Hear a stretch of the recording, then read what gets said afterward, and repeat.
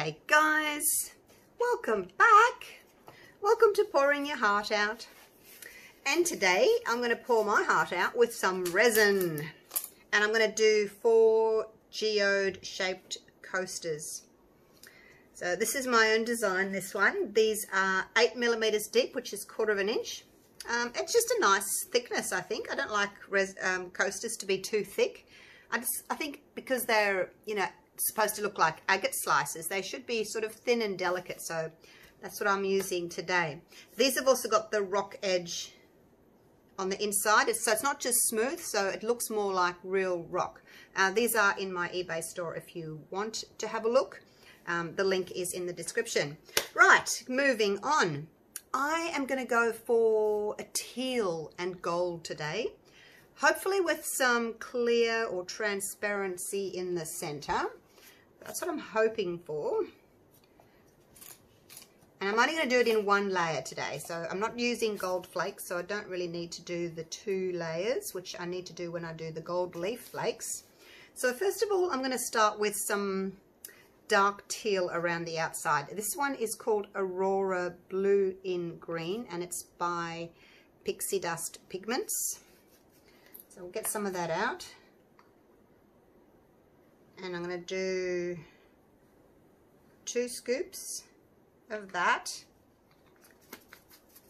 I'll put it there so you can see the colour. And then I want to make it a little bit darker. So I'm going to use this, it's a pigment paste, it's called Apatite Blue, but it looks more of a, it's, uh, I think it looks sort of more of a bluey green, really. Let's just take a little bit of that. It's a bit hard.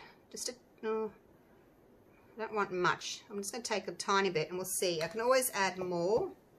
Um, if these go hard, just put the lid on and put them in a, a hot water bath and they'll melt down again.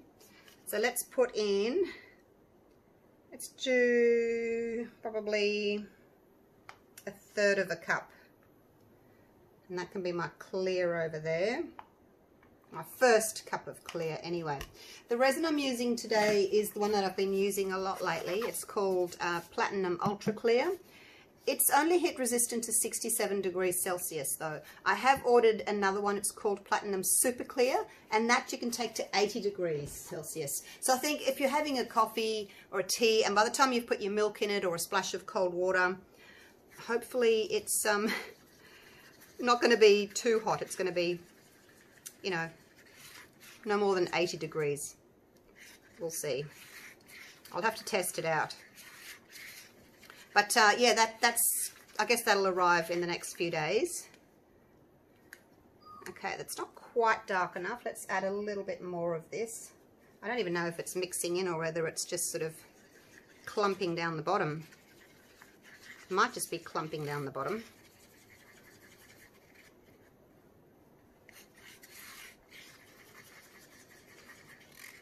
The um, Aurora, it has like a, um, like an iridescent or a color shift, something like that. So it has this sort of goldy look on top. Not goldy locks, goldy look. so um, yeah, it, it's really pretty. And I think that will go really nicely with the gold sparkle that I'm going to use. You can see on the inside of the cup it looks more blue and then on there it looks more of a greenish goldish colour. So see how that goes. Hopefully that's mixed in. All right. Um, I may add more pigment paste to it later. We'll see. Now the next one I'm going to do is just some alcohol ink. This one is Teal by Pinata.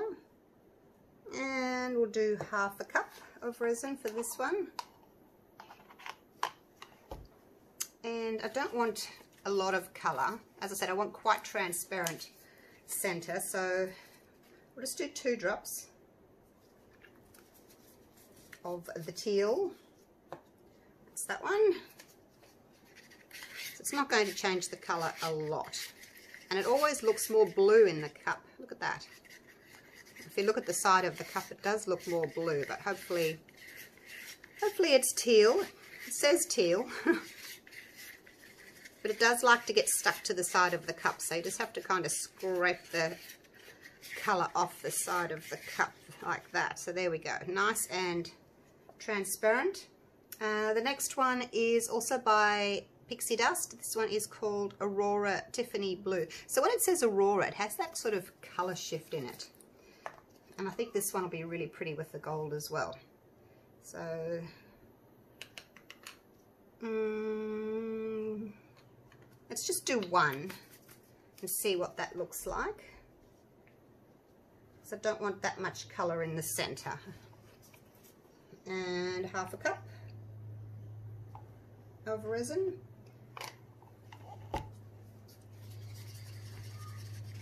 I've only got two days left of my holidays and then I have to go back to work. It's so sad. I've had three weeks holiday over Christmas, New Year. Been great. I've been really enjoyed it. I've painted every day or resined. I've made slime. Played with my puppies. Had the family over for Christmas and it's been a lovely three weeks but it does have to come back to an end and I have to go back to work in two days. So today and tomorrow I have off and then back to work. Now this, I know I need to stir this really, really well because I don't want to get any little bits of mica powder sinking to the bottom. And if you're planning on having a clear center, make sure you don't have any bits of mica that have sunk to the bottom because that'll spoil your look. So stir it really well. Maybe come back to it a bit later and stir it then as well. I've dripped. Right, now this one is going to be my gold sparkle. You've seen me use the silver or the white sparkle a lot. This is the gold super sparkle by Color Passion. Really pretty. Um, because it's a glitter, it does sink to the bottom. Just one scoop. It's very fly, flighty, flies away really easily, so I don't know if you can see it sparkling on my glove. It just it gets everywhere, so you've got to be careful. Um, and then we'll go half a cup with that one, and then I've still got some clear left. So just a little bit of sparkle in the center. And as I said, it, it will sink. Um, but that's okay. I just want a little hint of gold in the middle. I don't mind if it sort of sinks and mixes in with the other colors. I think it'll give a really pretty overall sparkly effect. See, it's very, it really takes over. So one scoop goes a long way. I may actually add a little bit more clear to that. Probably didn't need such a big scoop. Alrighty, are we ready? Ready spaghetti. Where's my bit of tape? Something in there. I have cleaned these out already with tape, but bits fly in there all the time, don't they? Alright, now how's this looking? Hmm. I'm going to add a little bit more just want the outside to be quite dark. I'm just going to clean the top of that because I got resin on the top. I should use a clean, a clean stick, shouldn't I? That's right. I just wiped the top with paper towel. Got that little bit of resin off that I just stuck in there. Ah, hopefully this is going to be enough. I only want a little tiny bit for the outside. So if you're not very good at pouring maybe. You can pour this into a little piping bag and pipe around. But I'm going to see if I can just do it really gently. Move all these out of the way so I don't knock anything over.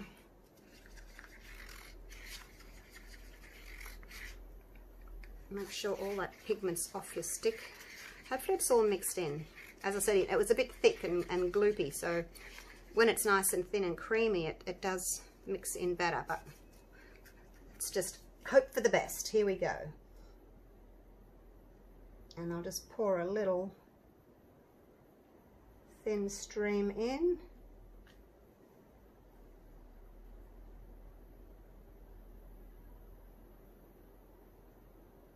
Concentrating. Actually, I'll use this so I can catch the drip with a piece of paper towel rather than my glove. Otherwise I end up getting sticky resin hands and that's no fun for anybody.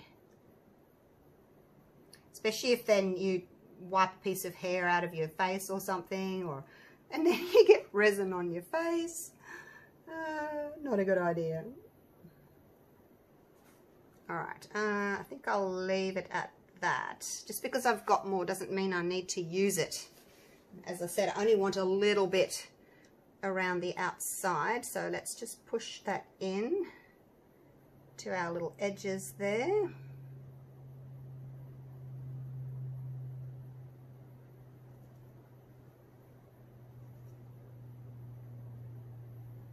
Oops, try not to get it onto the side, up the top. It in down the into those little corners like so. And then I'm going to do um, puddles. Oh, I think you're done, aren't you? Yep, you're done. You did that all by yourself. Good on you. Alrighty. Need a little bit more on the just there. Okay, so there's still a bit left. That's that's okay. I'd rather have a bit left over than, um, you know, put too much in. What's going on over here?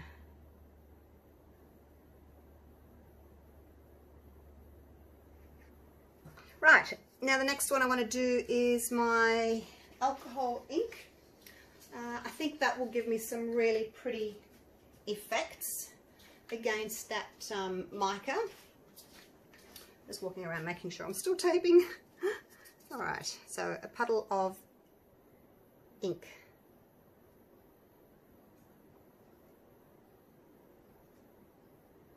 So once you think you've got it equal, just add a little bit more, use it all up, make sure they're all kind of equal-ish.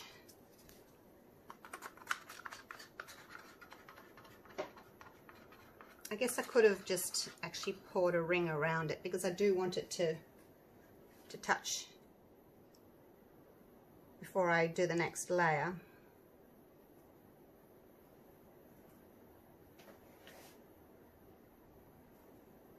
I should have done that. I should have just poured a ring around it, around the inside of um,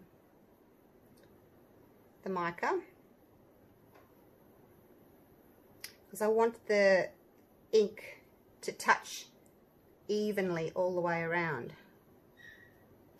like so. Right, can you guys remind me to do that next time, please? When I'm using, only when I'm using the alcohol ink though. I just like it to all react at the same time. And give you the equal kind of design is what I'm trying to say. Because if I put another colour in over the top and it touched the outside first without the ink touching, um, then I might get a different look in, in one area and I want it all to be symmetrical instead of asymmetrical.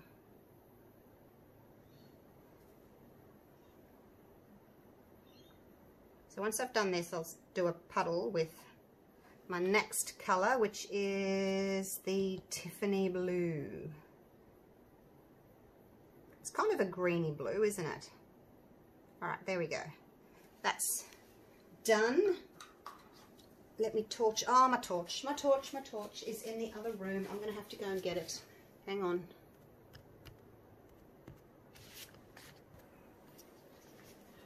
I was making silicone molds yesterday for orders because I make them to order.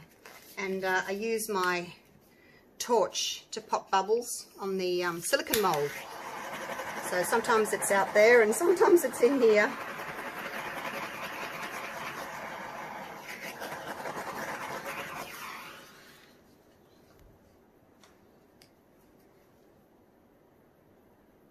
Sure what that is.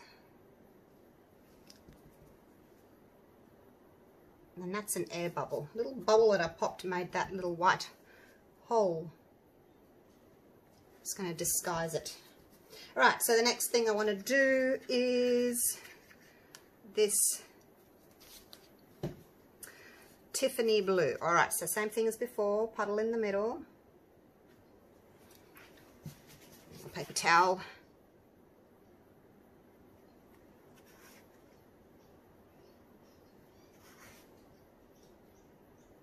Okay. Do I want any more? Do I want any more? That one looks as if it's got a bit more than the others. Again, just because you've got it doesn't mean you have to use it all. Um, I want to keep it relatively transparent in the center, so I'm not going to go with any more color. And I'm going to try and like torch each level, each layer, rather than leaving it till it's too thick, because then I can't get the bubbles that are in the middle. Now this is a lot of gold. I probably don't need all this. What can I do with it? Actually, you know what I... Oh.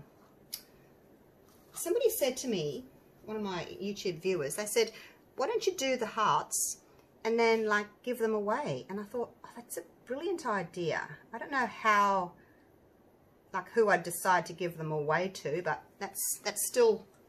It's a thought. I can still do that, can't I?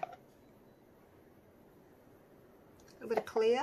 I don't know. Maybe the people that... Um, send me a donation, which I really appreciate. Maybe I can send them back a little thank you. Maybe. Depends how much shipping would be. All right. Anyway, we'll do something with the hearts. Now, some gold in the center, and I think I've got too much gold.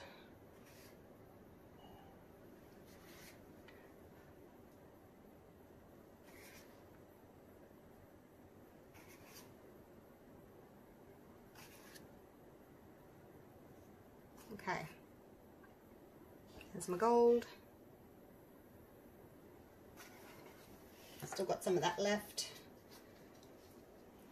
I'll put a little tiny bit of this dark around again, just a tiny bit. I think I can get away with a little bit more. Hopefully it's the right decision.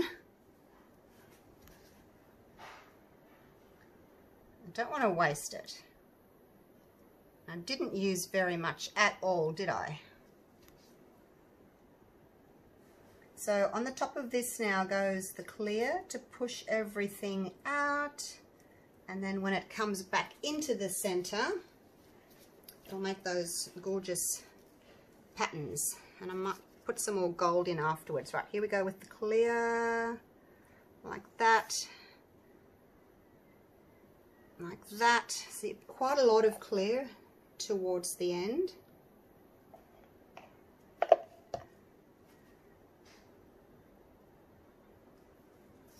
Almost takes it up to the top, the clear does.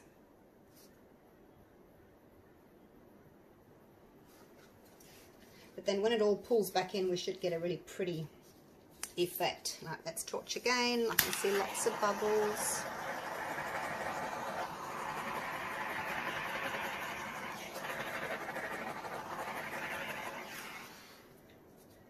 Okay, now I'm going to do a little bit more gold.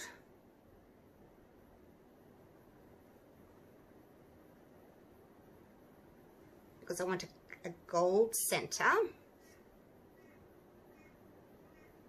Like so. You can have a little bit too. All right. How's that looking? That looking pretty? Oh, look, it's going to be transparent. Now the the color on the outside, it pulls in like at different levels. You can see that one's pulled in further, but just leave it. We'll just wait and see what happens. It will all come in a little bit. Now, tiny bit of clear, just to break up that gold ever so slightly.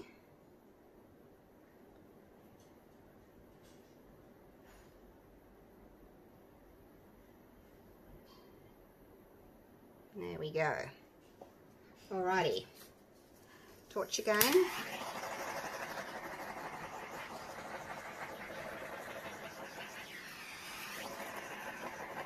wonder what it's going to look like. I wonder, I wonder. See now here we've got a slight little transparent center uh, with the gold around it. Mm, I still don't know if I want any more gold. I'm going to bring you down for a close-up. Let me get my gloves off. Hang on one sec. Now, as usual, my teal always looks blue. So what you're seeing is not correct. But we're getting some striations happening along the edges. Early days yet, it'll keep changing for the next half an hour or so. Uh, I will correct the colour on my photo and hopefully when I take my little short video outside in the sun you'll be able to see the true colour but for some reason um, my camera, I don't know if it's everyone's camera but my camera makes teal look blue. So there they are. Oh look at the little heart. It's getting some really pretty striations too. Oh there's a bubble. Oh I'll have to go and pop that. Alright I'll give it a quick torch and um, I'll see you guys tomorrow for the grand unmolding. Hope you enjoyed that. Hey guys, welcome back. It's the next day and they still look blue through the screen. Oh, I wish they wouldn't. I wish you could see the turquoise, the teal. Anyway, let's get them out. So I didn't fill these all the way to the top. So I have got a little lip there now, it's up to you if you want to file that or whether you want to have like a little area where, you know, your glass can maybe not slide right off. Oh, look, look how pretty they are. Oh, I wish you could see the true colour though. Oh, never mind. Look, we've got the gold sparkle in the centre. Now, with the paste, I want to show you the difference between a paste and a mica. Hang on one sec. Just put that canvas there so that you can see properly. Now, if you have a look at these striations, they're not straight. They're not straight striations. They're kind of wriggly with blobs. I don't know how to explain it whenever I use um, paste, pigment paste around the edge, I get those types of striations. Now the difference when I don't use a paste and I only use a mica powder, I don't know if you can see the difference, but hopefully you can. It's just, it's more, my hands are reflecting in there, it's more just straight striations. I don't know, they're just, it's just different. Now, when I did this one, my camera shut off halfway through. So I showed you, I might even put the video up, I don't know. And then I thought I better do another one and show you how to do it. So then I did this one. Which do you prefer? Do you have a preference? This one's much more transparent. I don't think I put as much of the second colour in the middle. But anyway, there's, there's those two. Just wanted to show you the difference. Still really gorgeous nonetheless. Oh, we should have a look at the back, shouldn't we? Ooh. Ooh, it's sparkly. Look at that. So there's our ring of colour, which is green but looks blue through the camera. Wow, that's really pretty. Sparkly. I guess you could do either. I do like the back of that one. I don't usually like the backs at all, but I do on that one.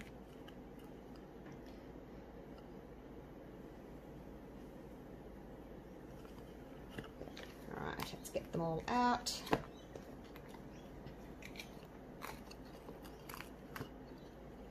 All very, very similar because I poured them exactly the same way. And the last little one. And you, look at you, you're jumping out already. You're just so excited to be out, aren't you? I'll get to you in a minute. What's the back of these ones look like? I didn't do the unmolding video on these because I thought, oh, yeah, that's, that's just a big blob. This one had a lot more gold in it. I didn't do the unmolding video because I thought, oh, there's really not much to show you. I showed you how I mixed the ingredients, did one ring and then it stopped and then I just sort of explained what I did. So I don't know whether anyone wants to see that video or not. But um, there's the little heart. It's got the little clear center in the middle there. A bit of gold bling on the back. Right, so that's those. Um, I'm going to, I will sand a little bit with my nail file. And then I'm going to paint the edges in a gold, the Decor Premium Gold. It's my favourite. Um, and because I've got the rock edges, which is kind of already, you know, scuffed up, um, I only need one coat of gold.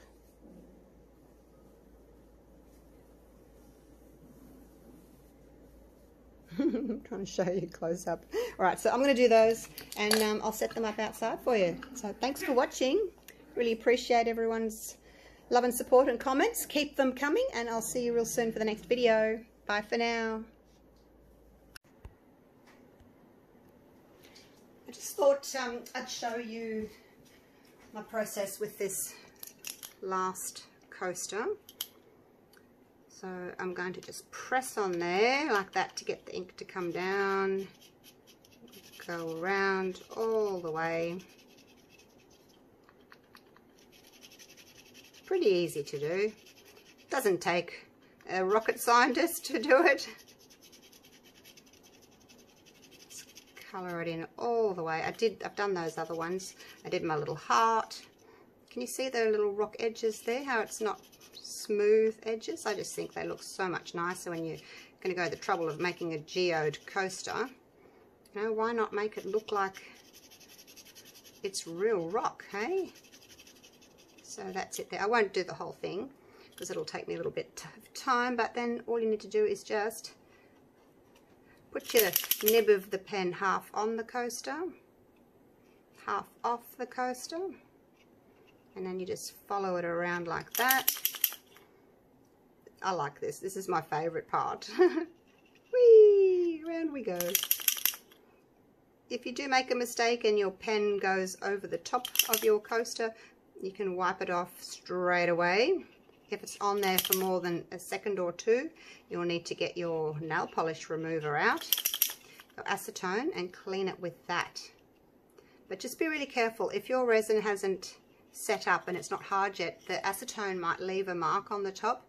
So you've got to be really careful of that. Maybe test your um, test your resin first, like on a, a spare scrap piece before you go um, putting acetone on the top there, just in case it marks.